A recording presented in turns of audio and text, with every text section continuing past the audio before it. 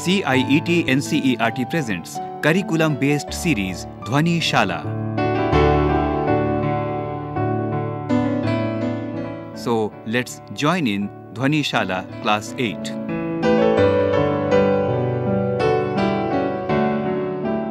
Hello, children. Hope you are doing well. Welcome to this session. Today, I am going to take up a lesson from NCERT's English textbook for class 8 Honeydew. Unit 2, and the name of the lesson is The Tsunami. I am Professor Kirti Kapoor from NCERT, New Delhi. Let me recapitulate what we had done in the previous session. This lesson is about tsunami, which hit on 26th of December 2004. In this particular lesson, we are told about three places Andaman and Nicobar Islands, Thailand, and the Tamil Nadu coast and Sri Lanka. In the previous session, we had talked about Andaman and Nicobar Islands. When tsunami hit those islands, people were sleeping. It was 6 a.m. in the morning and they were caught unawares. Many people lost their lives. Only a few could save their lives. Then the second part is about a girl who was very observant. She observed that the sea was rising, it was foaming, there were whirlpools in the sea, and she had read about tsunami in her geography lesson. So she was able to relate her learning to the real life situation and was able to warn the people who were on the beach. She was able to help people save their lives because of timely warning. Now we are going to discuss part 3 of the same lesson, the tsunami. Please open your books, page 29. Now, I am going to share what happened when the tsunami occurred. Did it affect the humans and the animals in a similar fashion? Let us see. Before the giant waves slammed into the coast in India and Sri Lanka, wild and domestic animals seemed to know what was about to happen. They fled to safety. According to eyewitness accounts, elephants screamed and ran for higher ground. Dogs refused to go outdoors. Flamingos abandoned their low lying breeding areas. And zoo animals rushed into their shelters and could not be enticed to come back out. This was the reaction of the animals and birds. Probably they could sense it, and humans could not. That is what the author is trying to tell us. Many people believe that animals possess a sixth sense and know when the earth is going to shake.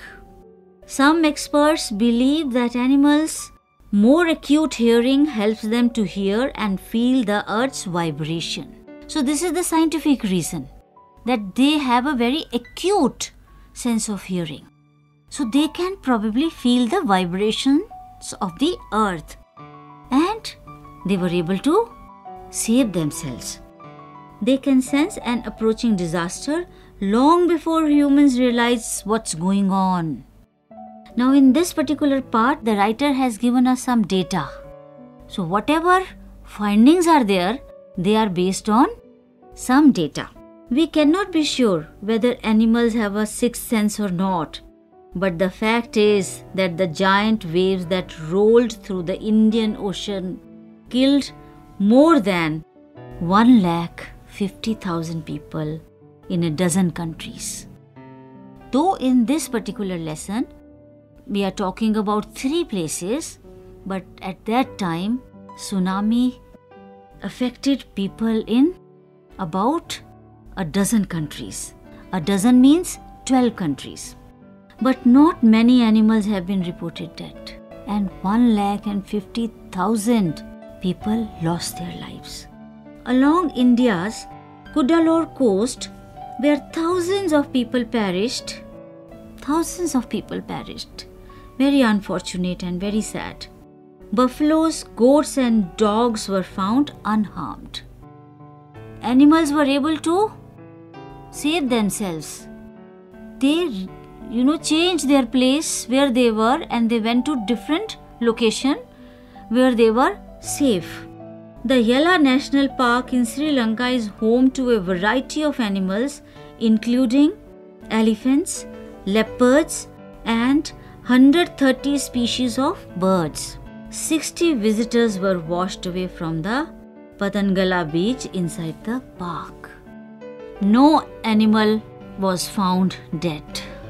Visitors could not save themselves because there was no warning, but animals had fled the place they were able to save themselves, except for two water buffaloes. About an hour before the tsunami hit, people at Yala National Park had observed three elephants running away from the Patangala beach. Elephants also ran and saved themselves. A Sri Lankan gentleman who lives on the coast near Galle said his two dogs would not go for their daily routine walk on the beach. They are unusually excited to go for the outing, but on that day they refused to go and probably saved his life also. So, this is the third part. And here we have been given data. And on the basis of the data, we can say that probably animals have that sense. And scientists describe it as an acute hearing power. Now, can I ask you a few questions over here? You can refer to your book. How many casualties were reported in total? Hmm? Page 29. Yes, you have been able to find 1 lakh 50,000. There you are. And how many countries were affected by the tsunami? A dozen countries. Hmm. And number of bird species in Yala National Park in Sri Lanka? 130. Last paragraph on page 29. Have you been able to locate? I am sure you have been. Now, my next question is How many visitors were washed away from Patangala beach? 60 visitors were washed away from the Patangala beach inside the park. And number of animal casualties recorded in Yala National Park. Only two. Yes, you are right, only two water buffaloes. So if we put it in order, so the data is in front of us. So what does this data tell us? That animals can sense it, but human beings were not able to sense it. Hmm. Now, working with language. Now that you have read your lesson, you have come across words such as brave, frightened. Why don't you write in your notebook when I am reading out the words? It's a kind of a dictation for you. So let us write. Words are brave, frightened, hysterical, terrified, sad, traumatized, courageous, confused, resourceful, intelligent, sacrificing, quick witted. Shall I repeat the words? I have taken all these words from the text. I am going to repeat it. This is a dictation activity for you. I repeat the words. If you have missed out on any, you can write it now. Brave, frightened, hysterical, terrified, sad, traumatized, helpful, courageous, confused, resourceful, intelligent, sacrificing, quick witted. Okay, so you have jotted down the words. My next activity with you is now go back to the text and take out the sentences where these words have been used. Okay, you can do it when you have time after this lesson, but the task for you is you have to locate these words in the text. That means you are going to read the text again, locate these words, find out the sentences, rewrite them in your notebook, and try to understand the meaning of these words in the context. I am sure you will do this activity. Now let us do another activity which we can do now itself. The words are in front of you. Now divide the words into two parts. On one side, positive qualities, and on the other side, negative reactions. Positive qualities. Make two tables. Have you made it? Yes. On one side, you write positive qualities, and on the other side, you write negative reactions. Can you appreciate the difference? Positive qualities, negative reactions. Qualities are always positive, and qualities cannot be negative. We have negative reactions to things.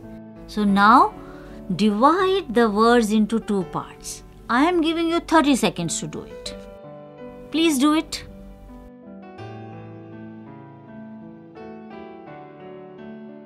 Have you done it? I am sure you must have done it. Now I will share my list with you.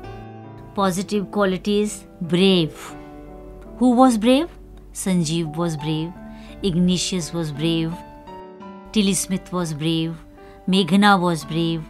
Alma Javed was brave. They were all very brave. Courageous. Yes, they were all courageous also. Intelligent.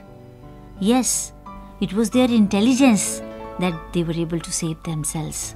Meghna and Alma floated on wood for days and finally they were saved. Tilly Smith had read that lesson, a tsunami, and was able to apply it to the real world situation. Helpful. Who was helpful? All of them were very helpful. Some of them lost their lives, but they were helpful. Sacrificing. Yes, they were all sacrificing. Quick witted. Who was quick witted? Tilly Smith was very quick witted. Now, what are the negative reactions? Sad. We don't have control over this, but we have to learn to overcome. Next one is terrified. Yes, we do feel terrible if such a thing happens, but we must learn to overcome any adversity that comes our way. Hysterical, frightened, traumatized, confused. All these are our negative reactions. Now, on the basis of this, if I ask you to write a paragraph about Tilly Smith, Meghna, and Alma Javed, can you write? Yes, you can write. Please write the paragraph. Okay? And you can share it with us on our CIT and CRT email ID. You can share it with your teacher. You can share it with your friends. Let's move on to the next activity. Now, this is fill in the blanks. I will read the sentence, right? And I will leave the blank for you to fill in. I will give you the hint. I am sure you will be able to do this activity. The first sentence The earth trembled, but not many people felt the dash. Hint is again tremble. So, what have you filled in? But not many people felt the tremors. Have you written it down? Next one. When the zoo was flooded, there was a lot of dash and many animals escaped into the countryside. Hint is confuse. There was a lot of dash. You cannot fill the word confused, you have to change it. There was a lot of confusion. Third one. The zookeeper was stuck in a tree and his dash was filmed by the TV crew. Hint is rescue. I think here rescue will fit. The zookeeper was stuck in a tree and his rescue was filmed by the TV crew. Fourth sentence.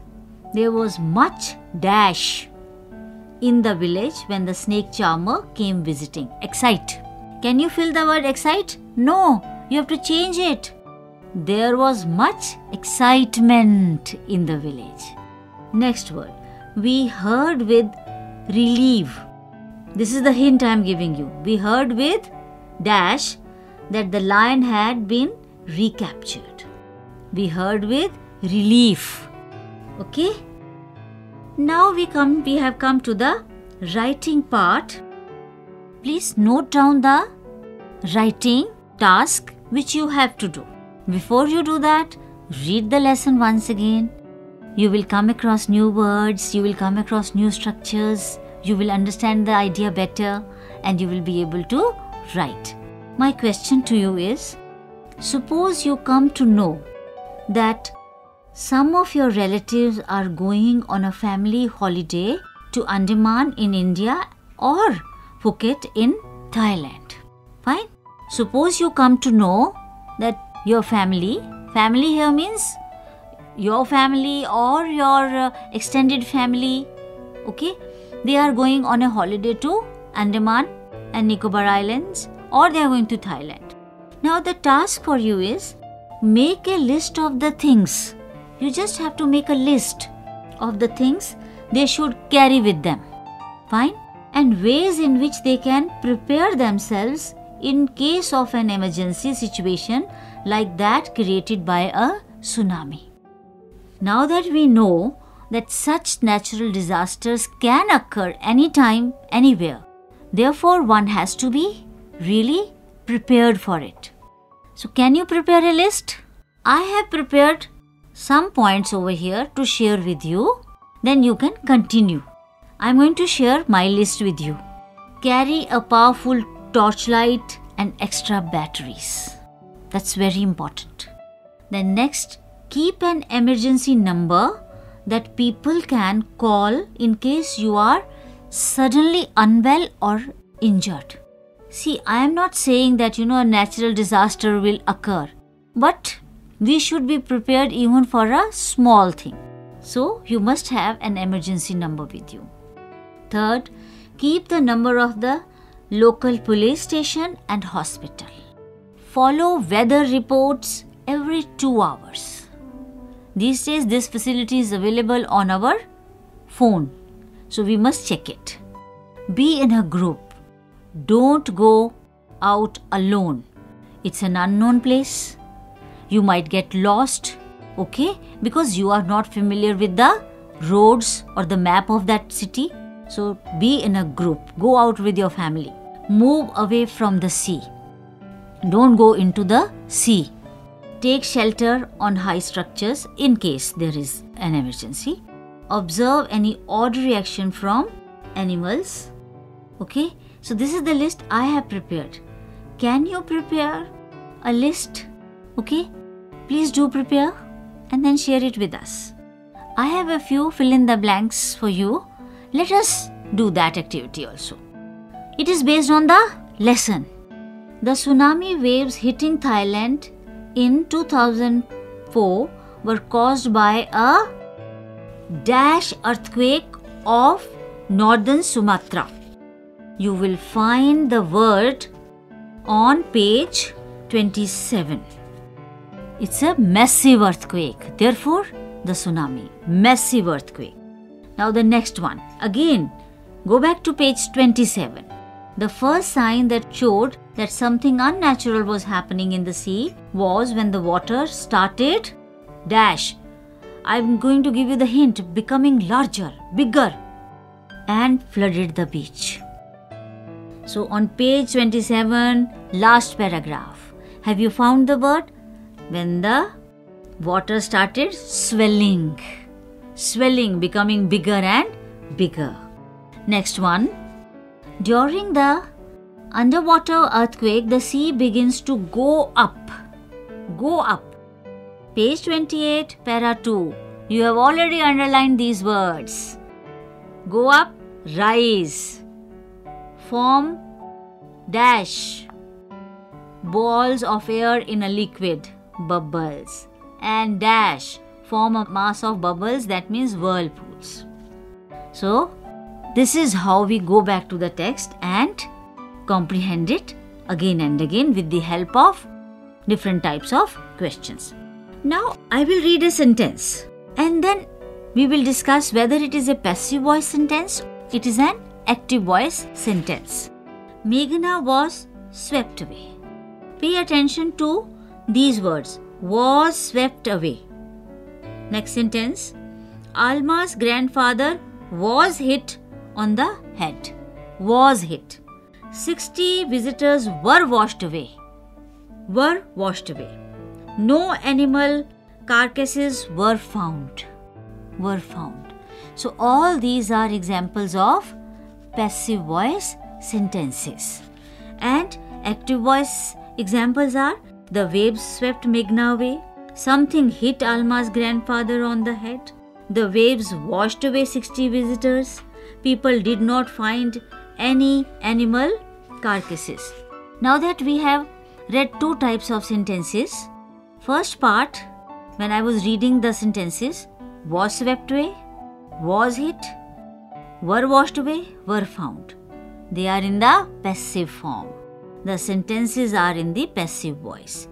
In these sentences, the focus is not on the person who does the action. Okay? In B, the doer of the action is named. The verbs are in the active form. The sentences are in the active voice. And now the task for you is go back to the text once again. Underline the sentences which are written in the passive voice were hit, were washed away. Okay, so this is the clue. The focus is not on the person. I hope you will be able to locate the sentences. Now we have one project work for you. Children are capable of brave deeds. Do you agree with me or not? Yes, you do. Refer to bravery awards given on Republic Day in our country. 26th of January, every year, bravery awards are given to children for their acts of bravery. Collect names of the children and their acts of bravery. Can you collect it? You can talk to your parents, to the teacher, or if you have internet, then you can get it from the internet. Put these stories in your portfolio and then you can share this with us. Suppose you do not have the information about these children, but you can modify the project. If you have any stories of bravery of children in your village, in your city, please write those.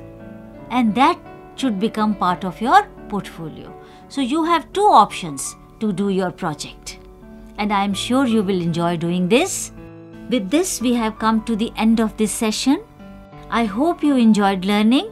Happy reading. Thank you. You are just listening to curriculum based programs Dhwani Shala. Production assistants Minakshi Kukreti, Tanu Gupta, and Jagbandhu Jana. Recorded by Bati Langlingdo and Shanu Muksim. Produced by Vandana Arimardan. This program was brought to you by CIET NCERT, New Delhi, India.